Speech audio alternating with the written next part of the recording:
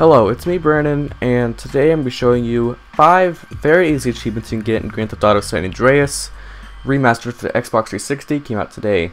These achievements are Horror of Santa Maria, Assert Yourself Next Time, Get a Pump, Pay and Spray, and Represent, all totaling up to 60 gamer score. First, Horror of Santa Maria, it's 10 gamer score. The description, all it says is drown, because that's all you have to do. So I just chucked my car off a bridge, and you can stay in your car. I got out for some reason. and the controls confused me, so I cut that out. You press B to go underwater, and then using left stick down and spam A to swim downwards. The blue bar is your breath, the red bar is the health. When they both run out, you will drown, achievement will pop, wasted. Next, assert yourself next time. 10 gamer score as well. This requires you to fail a mission, which I could have done a lot sooner, but I didn't remember it. So this guy just needed to be driven to his destination, but I wanted to go back in the water. as soon as the car hits the water, it breaks, mission failed.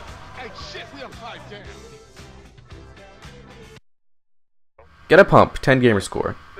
You'll get a call somewhere after a mission, not sure which one, but the call will tell you how you need to work out, and will unlock the gym for you which will look like a dumbbell on your mini map. Okay, so you go in, and you can do either two things. You can bench, or you can use the dumbbells. I just went to the dumbbells because the first thing I saw. Picked it with a 20 because I'm a wimp. And spam X to lift, just do it once. And there goes the achievement. Keep going, because I want to get strong. I'm a man. Pay 'n' Spray, 20 gamer score. Ooh. Uh, this is a classic in San Andreas. All you have to do is get the cops on you and go into the Pay and Spray. But all I did is run over people in front of the Pay 'n' Spray, go directly into it.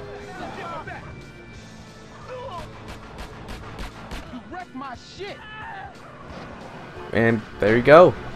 It'll take a bit, take out a hundred dollars, and when you go out, you have an achievement, and the cops will not see you. Even though they watched you go in and come out. The last one, represent, 10 gamer score, sorry I went back down. I did fail this one. I bought the wrong tattoo. The Grove Street tattoo, specific tattoo you need to get. That cost 150. I didn't have it, so this very courteous gentleman decided he'd lend me the money. Thank you for that. Go into the tattoo parlor. You go to the back, and there's a back tattoo for Grove Street, $150. Buy it, give you it, achievement, and you got some nice tattoos. That's the five achievements. 60 gamer score in about 30 minutes. I hope to be doing more achievement guides in the future. It depends how long it takes me to get these achievements. And thanks for watching.